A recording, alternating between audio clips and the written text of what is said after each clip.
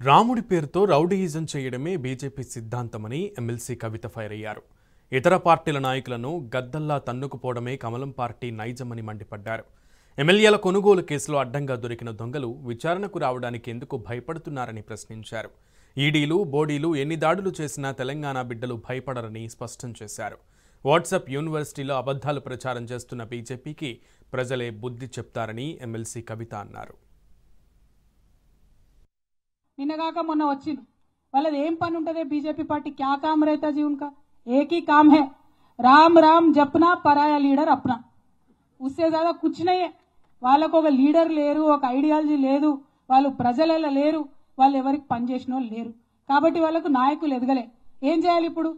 వాని ఎన్నికలకు పోవాలి. పోటీ చేయాలి. చేద్దామంటే ఎవరైనా నిలబడి గెలుస్తాడని సురేందర్ అన్నకు వ్యతిరేకంగా. కాబట్టి ఎవరు పోటీ చేయరు. చేయడు కాబట్టి ఏం చేయాలి?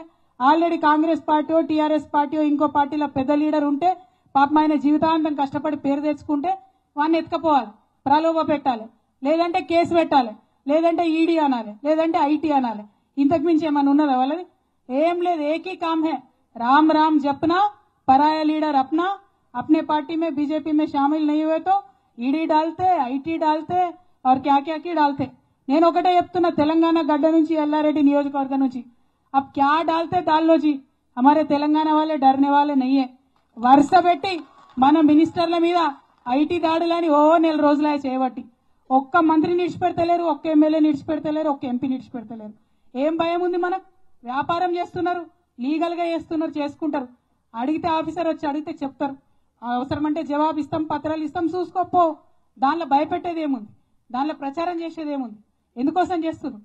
నిన్నగాక మొన్న ఎమ్మెల్యేలు కొనడానికి కొంతమంది వచ్చిరు మనం ఏమన్నాం సరే బాబు ఆయన ఎవరిదో పేరు వినబడ్డది. బిఎల్ సంతోష్ అనట ఆయనది.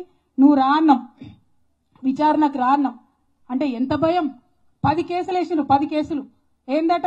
మన దగ్గర దొరికిన దొంగల మీద మనం విచారణ చేయొద్దట.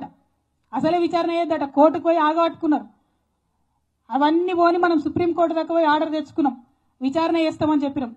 విచారణ చేస్తామని చెప్పగానే నేను దొంగని కాదు. ఏందది? యాదగిరి గుట్టపోయి ప్రమాణం చేసిండు ఆయన బండి సంజయ్ గారు. ఏదో సభ పెట్టి ఒకటే ఏడ్చిండు ఏడ్చి ఏమంటాడు అల్టిమేట్గా అంటే నేనేం చేయలేము